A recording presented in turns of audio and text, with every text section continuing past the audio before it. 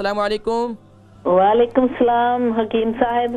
جی ماشاءاللہ کون اور کہاں سے؟ اے حکیم صاحب میں برمنگم سے بول رہی ہوں۔ برمنگم سے کیا نام بتایا؟ جی حکیم صاحب میرے نا گھٹنوں کی بہت تکلیف ہے اس میں ارتھرائٹس ڈائگنوز ہوا ہے تو میں کیا کروں؟ آپریشن کہتے ہیں کروا لوں یا نہیں؟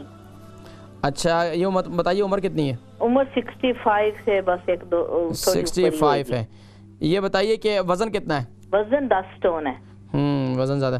اچھا یہ 60 بتائیے 60 کہ۔ گھٹنوں کی تکلیف جو ہے کتنا عرصے سے ڈاکٹر اہم، حکیم صاحب کافی دیر سے تھوڑی تھوڑی لیکن اب تو بالکل نہیں اٹھا جاتا بہت تکلیف ہے اب میں بھی برمنگام سے بول رہی ہوں اگر آپ پلیز مجھے اپنا کوئی دے دیں کوئی کنٹیکٹ نمبر تو میں آپ سے رابطہ کر سکتی ہوں۔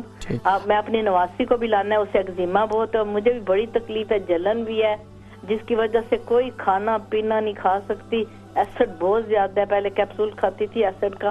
وہ چھوڑ دیا ہے تو، لیکن وہ پتہ ہے، سب نے کہا ڈیاں خراب ہو رہی ہیں۔ کافی دیر کھایا ہے، پندرہ سال۔ ٹھیک ہے، آپ پروگرام دیکھیں، میں ذکر کرتا ہوں۔ تو میری بہن، اس کے لیے آپ استخارہ کریں۔ اللہ کی بارگاہ میں، اللہ کی بارگاہ میں مدد طلب کریں کہ یا رب العالمین میرے لیے کیا بہتر ہے۔ استخارہ کریں استخارہ نبوی طریقہ موجود ہے، دعا استخارہ موجود ہے۔ اس کا اس کا، اس کو آپ پڑھیں، انٹرنیٹ پہ دیکھیں، بہت آسان طریقہ ہے۔ پھر میں انشاءاللہ کسی موقع پہ ذکر کروں گا دعا استخارہ کے بارے میں۔